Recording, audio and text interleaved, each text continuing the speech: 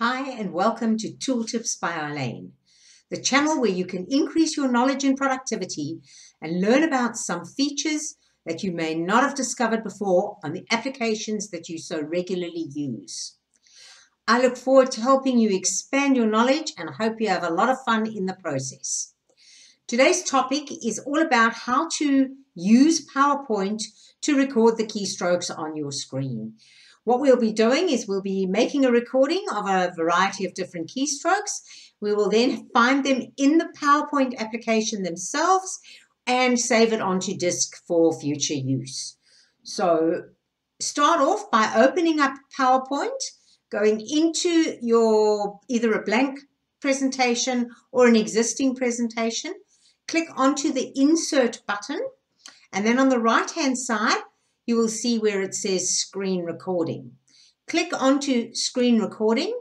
That will drop PowerPoint off the screen and take you into whichever screen it is that you want to um, video edit or video record.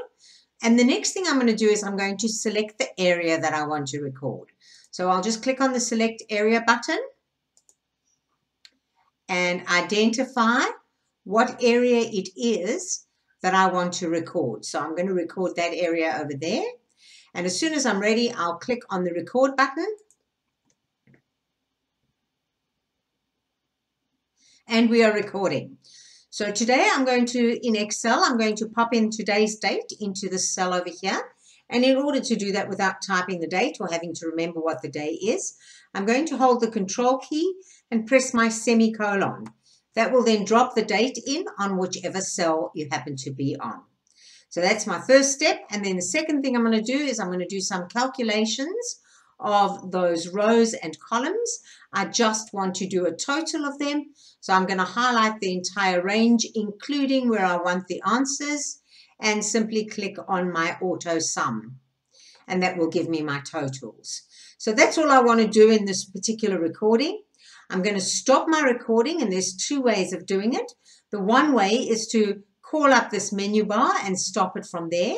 But if you don't want that little button to come up, if you hold down the shift, the, the, the Windows key, the shift key and the Q, that will then stop the recording. It has put the recording into my PowerPoint presentation. And there's a few things I can do with that. If I right click on that, I can um, style it. I can trim it.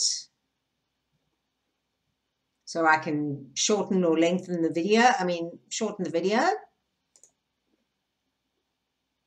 Or I can put a picture on top of it. I'll just find a picture, a stock image, and insert that in. And here we have our video. Okay, it is in, it, it, currently embedded in this PowerPoint presentation. When I run it, before I run it, I'm actually going to mute it because otherwise you're going to have me talking in, actually I might just stop talking in this video and then you can hear me talking in the original video. I won't mute it. I will just stop talking and play the video. And we are recording. So today I'm going to, in Excel, I'm going to pop in today's date into this cell over here. And in order to do that without typing the date or having to remember what the day is, I'm going to hold the control key and press my semicolon. That will then drop the date in on whichever cell you happen to be on.